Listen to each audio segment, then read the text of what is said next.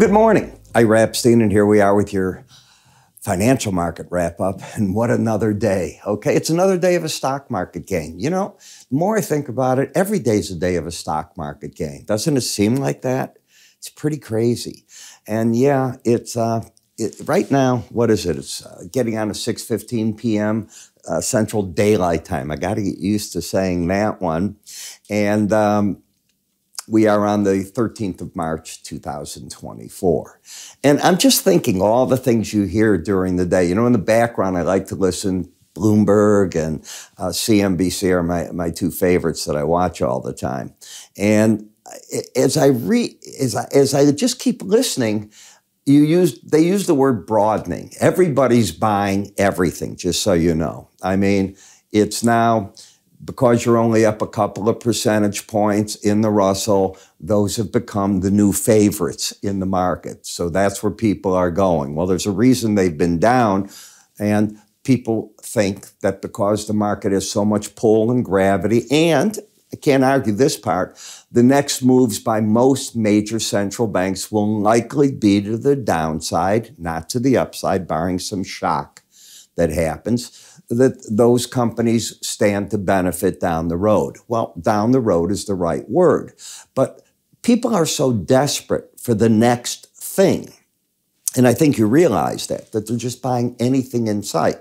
I mean, Tesla, look how far down that has gone. If you really look at uh, Apple, look what it's done. Google's gone nowhere this year but the commodities are suddenly coming alive. You're now talking, how high do we get gold up? Can it get up to the 2,300 level?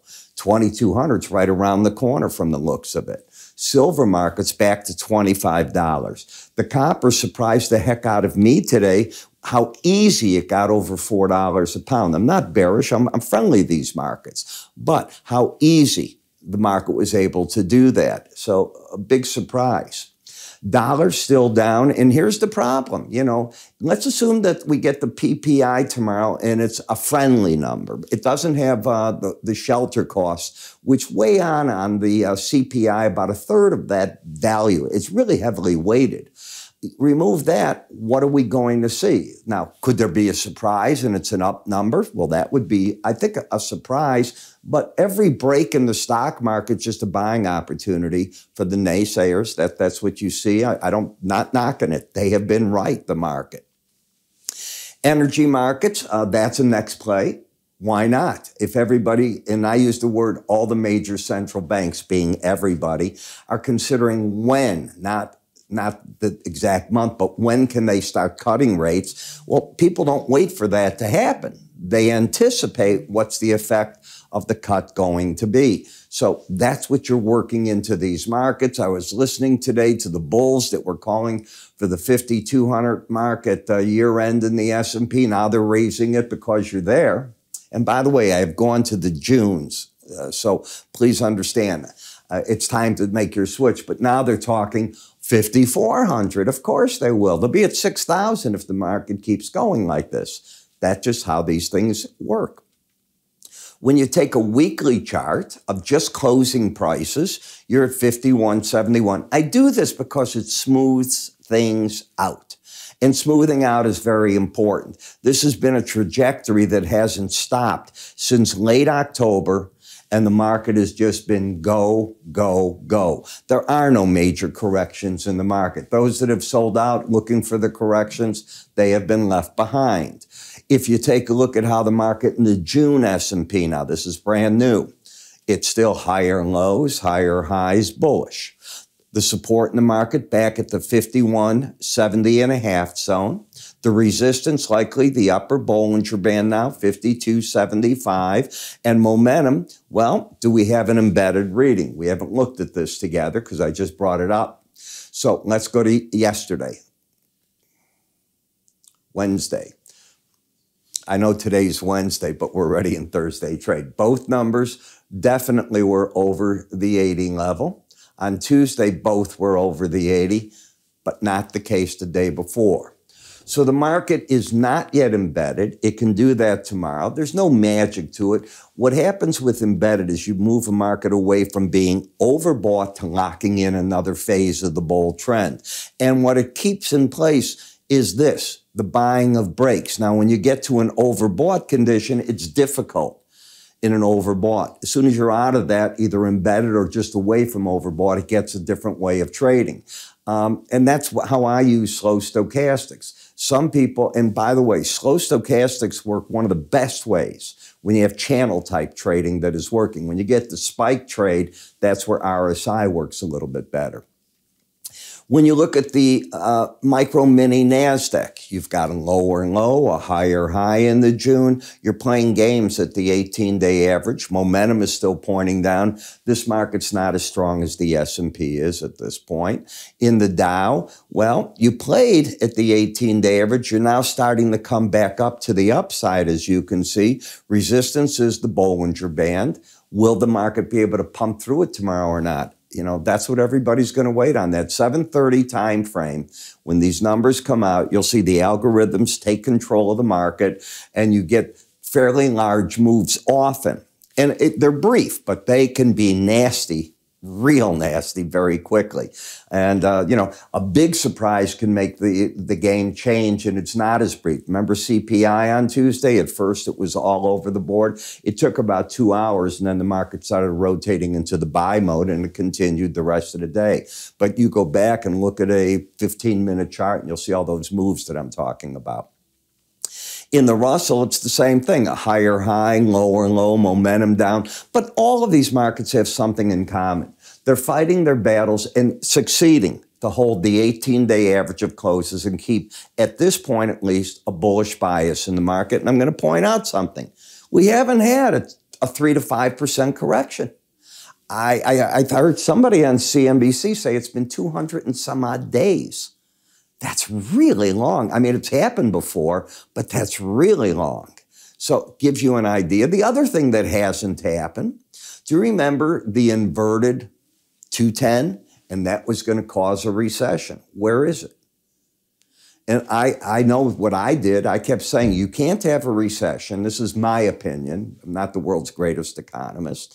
But I said, I don't believe you can have a, a recession with full employment full employment being defined three and a half, 3.7 percent unemployment in the United States. In the UK, it's about 4% right now. And go on and on with the different countries. And that makes recessions very difficult to have. That doesn't mean the UK didn't enter one. They did. All right. So is their number really 4%? Well, you can't compare the size of their economy or the output with the United States. We are unique. Do you remember when we heard China's going to overtake the United States and that the yuan was going to replace the dollar and everything's going to replace the dollar? Do you know how often in my career I have heard things like that that haven't materialized? It could happen. It just isn't now higher high, lower low. Look at how you fell back to the support. And we just spoke about this. At the 100 day average, the 18 is next.